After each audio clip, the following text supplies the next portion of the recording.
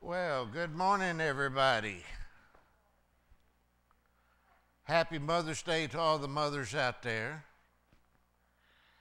So, let's go to the Lord in prayer. Our dear, most gracious Heavenly Father, we thank you for this day. And Lord, we thank you for all the mothers out there.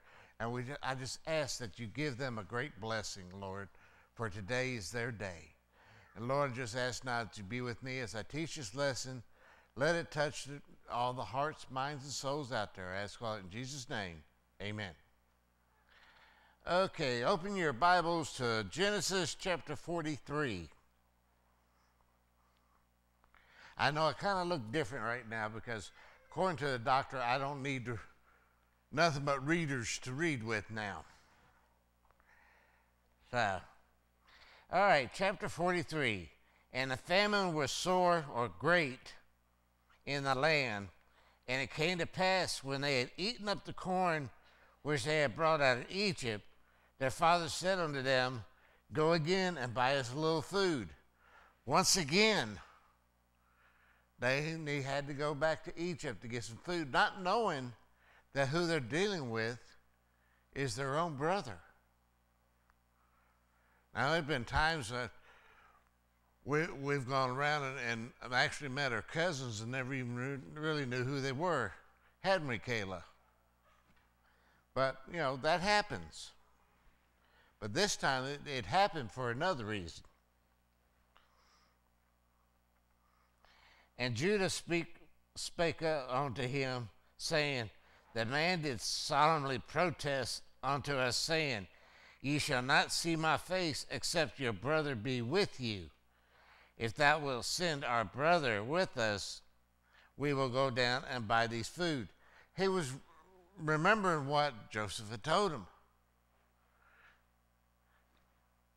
When you come back next time, bring your brother, your youngest brother. But if thou wilt not send him, we will not go down for the man said unto us, Ye shall not see my face, except your brother be with you. In other words, unless your youngest brother is with you, you ain't getting no more corn. You ain't going to get no more food. And Israel said, Wherefore dealt ye so ill with me, as to tell the man whether ye had yet a brother? And they said, The man asked us straightly of our state, of our kindred, saying, Is your father yet alive?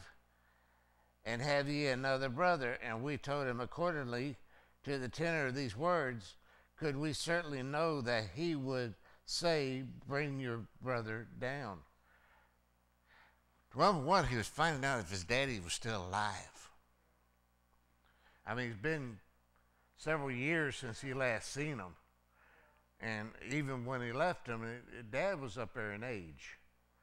So he wasn't too sure. And he knew he had a younger brother.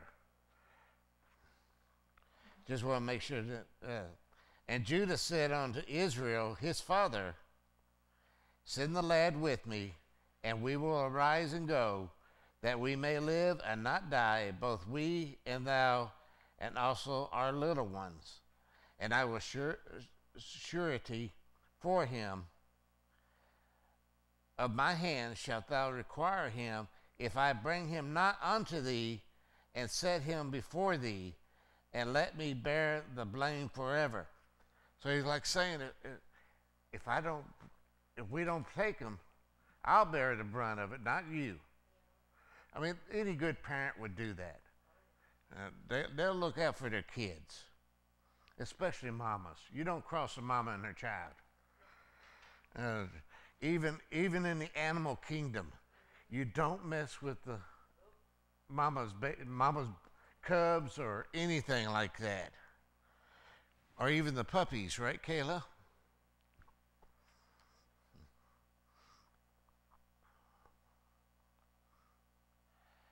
For except we had lingered, surely now we had to return this second time.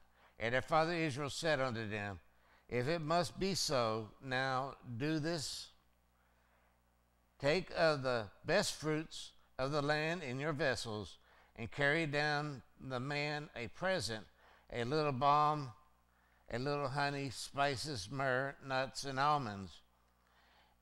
And take double money in your hand, and the money that was brought again in the mouth of your sacks, carry it again in your hand. Peradventure, it was an oversight. He wasn't too sure if that money got put back in there on purpose or not. He was thinking it was an oversight. Uh, hey, uh, I'm bringing this back to you. You left it in my bag. Now that's being honest. That's being real honest. And in today's world, you don't see a whole lot of honesty anymore. And if you want to see proof of that, just look at Washington, D.C. Oh, I didn't say that, did I? Take also your brother, arise, go again unto the man, and God Almighty give you mercy before the man, and that he may send away your other brother and Benjamin. If I be bereaved of my children, I am bereaved. And the man took the present, and he took double the money in their hands. And Benjamin had arose and went down to Egypt and stood before Joseph. And when Joseph saw Benjamin with them, he said to the ruler of his house, Bring these men home and slay and make ready for these men shall dine with me at noon. He, he told him, his boss, you know, let's throw these guys some meals. It actually, in a way, I guess he told them it was his brothers. And he wanted them to be fed real nicely. I mean, you know, he's working for the Egyptians, so they're getting the best of everything. And the man did as Joseph bade or asked. And the man brought the men into Joseph's house. And the men were afraid because they were brought into Joseph's house. And they said, Because of the money that was returned in our sacks for the first time, and we brought it in, that we may seek occasion against us and fall upon us and take us for bonds of our donkeys. He's like, why are we here? I've gave, brought back the money you, you left in the bags. Uh, what, can, what else can we do? We're so sorry. I mean, they wouldn't know, knowing what they was going to expect. And a lot of times with parents, you get the same thing. Um, I know with mom, it's the way she called our names. Uh, if you've done anything wrong, it'd be like Roger Glenn or Alan Dean. And when you've done it like that, you know something was up. Parents have a way of getting at you. Don't they, Alan?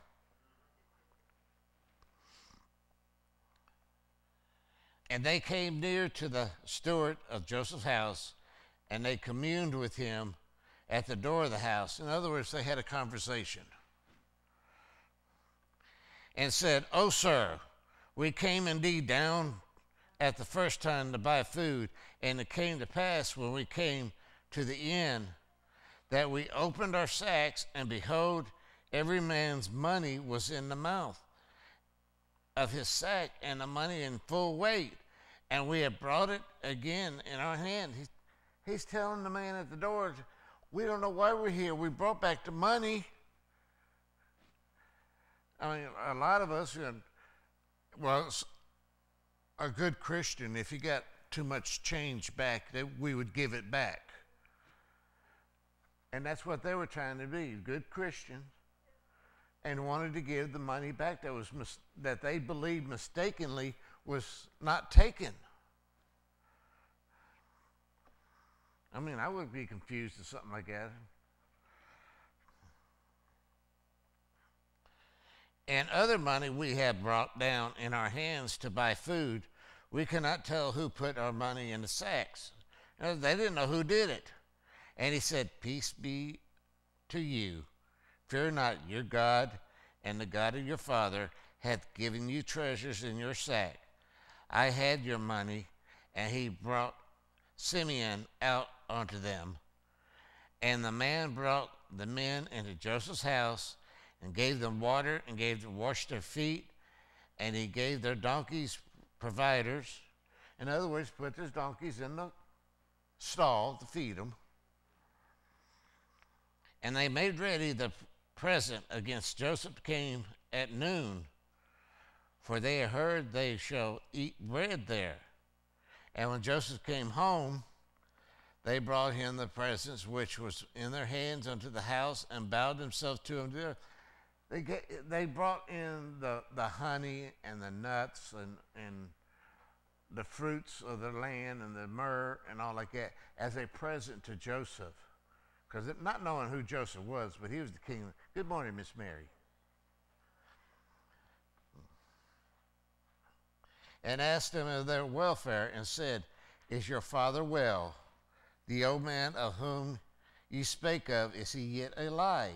Again, he was asking, Is your father Israel still alive? And they answered, Thy servant, our father, is in good health. He is yet alive. And they bowed down their heads and made obstinate. In, in other words, they bowed down to Joseph, not knowing who he really was, but he from their point of view, he was an Egyptian with power. So they were bowing down to him to show him respect. And he lifted up his eyes and saw his brother Benjamin, his mother's son, and said, Is this your youngest brother, younger brother, of whom ye spake unto me? And he said, God be gracious unto thee, my son. And Joseph made haste for his bowels did yearn upon his brother, and he sought whether to weep and enter into his chamber and wept there. He was holding back the tears, seeing his baby brother, and he just basically went into the other room and cried. Uh, a lot of people does that. And when he washed his face and went out and refrained himself and said, sit on bread. And I will sit down, let's eat. And they set on for him by himself, and for them by themselves, and for the Egyptians which did eat with him. Be themselves, because the Egyptians might not eat bread with the Hebrews, for that is an abomination to an Egyptian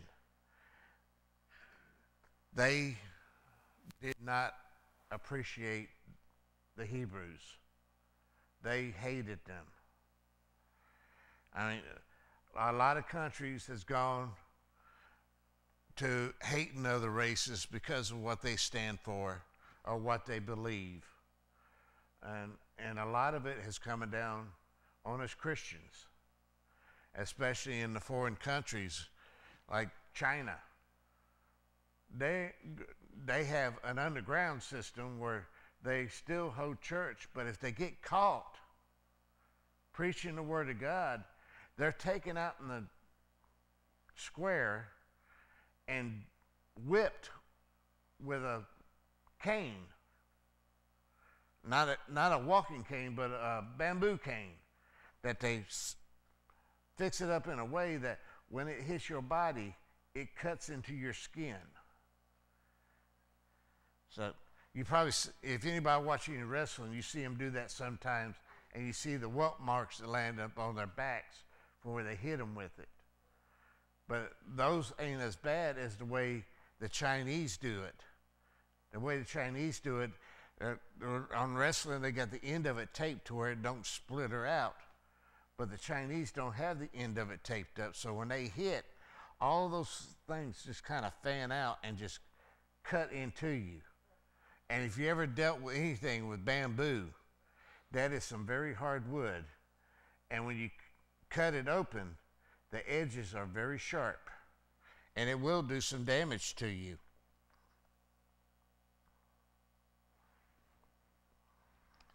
Let's see where the There we go. And they set before him the firstborn according to his birthright, and the youngest according to his youth. And the men marveled at one another. And he took and sent messes, sent messes unto them for, from before him. But Benjamin's mess was five times as much as of theirs, and they drank and they were merry with them. In other words, he gave his baby brother double portions, more than the rest of them got. And I, I'm pretty sure the other brothers were like, What's going on here? But they're going to find out what's going on. And a lot of times um, in society, some people does this um, just to be mean to other people. Now, I won't give you more than this one. Um, a lot of kids think that mama and daddy has favorites. You, mama and daddy loves them all equally, no matter what. It might seem like one's favored than the other, but it's not really because the love is still there. That's the reason why I pray that this Roe versus Wade gets overturned. Because they're standing there, all these ladies standing there. It's my body, I do with it what I want. Yeah, but that body inside you is not yours. And to me, that's just nothing but pure out murder. And they don't know what they're actually missing out on. They don't know the joy that they would have with that child. Now, if they don't want the child, they can always put it up for adoption because there's a lot of people out there who can't have children who would love to have them. And they could put it up for adoption at any time. But don't go and kill it. I know mom, even with us as adults, if somebody raised a hand to us, it'd be like Katie barred the door because she's coming after you. And I think the other mothers in here be the same way, right, Miss Mary? You, you do whatever you can to protect your children, even though they're grown. But here Joseph was treating his brothers better than what they treated him. They threw him into a pit, took his coat of many colors away from him, sold him into slavery. But God had other plans for Joseph. Each time he got a little trouble, God made a way for Joseph. And no matter what troubles you have today, God will make a way for you. No matter how bad you think it is,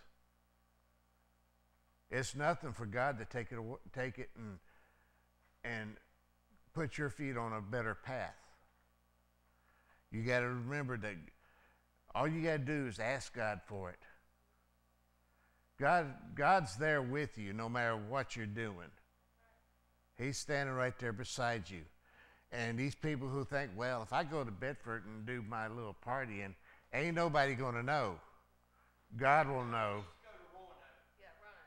Yeah, Roanoke? Oh, okay, Roanoke. Well, either way, no matter where they go, God's going to be there. I, you can get down in the biggest hole under the earth, but God's still going to be there. And we've seen God's work in this church.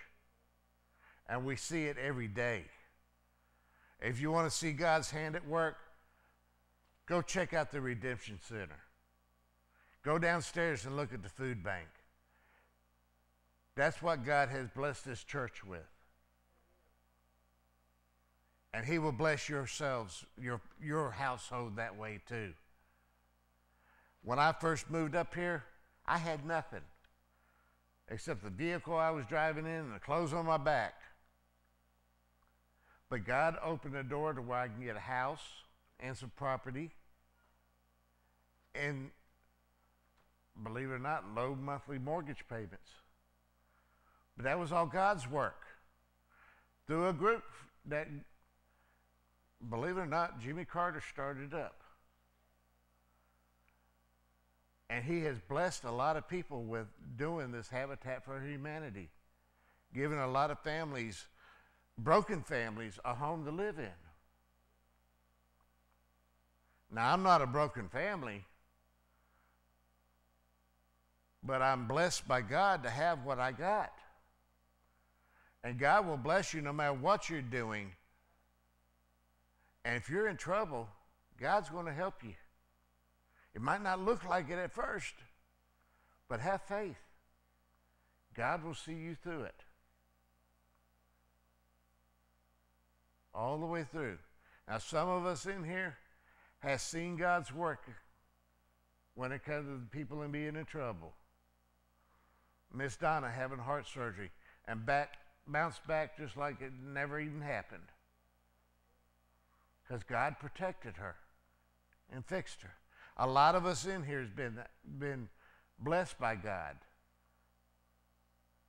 with treatments that He's given us and the love He has given us.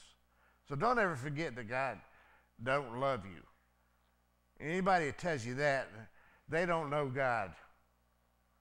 You need to open their eyes to Him. So let's go to the Lord in prayer. Our dear, most gracious Heavenly Father, I thank you for this day, Lord. I thank you for this lesson. And Lord, I'm looking forward to next week's lesson, Lord. And Lord, I just ask that as we go on with the day, celebrating Mother's Day, that all the mothers out there gets a blessing from you, Lord. I ask all it in Jesus' name.